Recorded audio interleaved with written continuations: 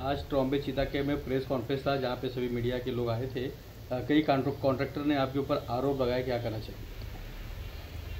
अस्सलाम वालेकुम। मतलब कभी कभी है ना, हँसी आती है कि मतलब जो गलत काम करता है, वो प्रेस कॉन्फ्रेंस लेके मतलब ये बताना चाहता है कि हम लोग कुछ गलत काम करते हैं, बहुत अच्छी बात है। देखिए, ये काम के लिए मैं एक साल हो गया कि इस चीज़ के लिए मैं फॉलोअप नहीं कर रहा था। क्यों कंप्लेंट तभी भी किया था? उस टाइम पर तो मैंने कोई खुलासा नहीं किया, मगर आने वाले टाइम में उसका भी मैं खुलासा उस टाइम पे क्यों किया था? और एक साल से मैं बिल्कुल खुलासा किसी चीज़ का नहीं किया, मगर अच्छा हो गया, ये प्रेस कॉन्फ्रेंस करके तुमने, है ना, मेरे को खुलासा करने का मौका दिया।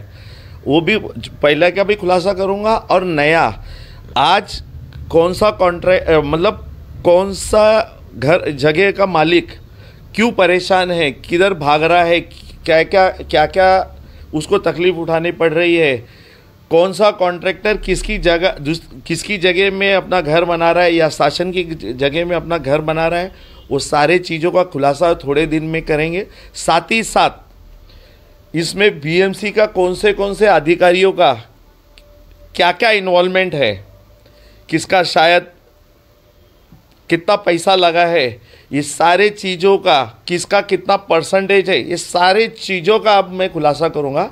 देखिए, मैं आपके चैनल के माध्यम से एक चीज़ बोलना चाहता हूँ कि यहाँ पे कहता है, मालूम है कि एक डेवलपर सारे लोगों को नचा रहा है। मतलब जिसका, जहाँ पे जो, जिसका जहाँ पे टच है बराबर है? उसको वहाँ वहाँ का यूज़ करवाता है और अपना काम करके लेता है। इसके लिए अ, मैं तो ऐसा बोलूँगा ना कि यहाँ पे कुछ लोग ऐसा है कि सारे कॉन्ट्रैक्टर से प्रोटेक्शन मनी लेके है ना सारे कॉन्ट्रैक्टरों का ठेका मतलब उन्होंने भी लिया है। जैसा बीएमसी ने अपना ठेका लिया है वैसा यहाँ पे भी कॉन्ट्रैक्टर को बचाने का भी कोई ठेका लिया है। सारे चीज़ का खुलासा।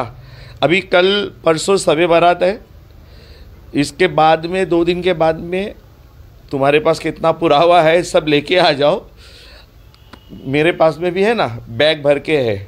इंशाल्लाह हर चीज़ का, सात बारह से लेकर क्या क्या चीज़ का पुरावा है और क्या क्या क्या चीज़ चल रहा है यहाँ पे ना, हर चीज़ का अब मैं खुलासा करूँगा। अच्छा हो गया, तुमने मेरे को मौका दिया।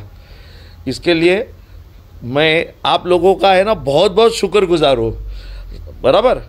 और इन इंशाल्लाह अपन दो दिन के बाद में फिर वापस से मिलेंगे। तब तक के लिए खुदा हाफिज़।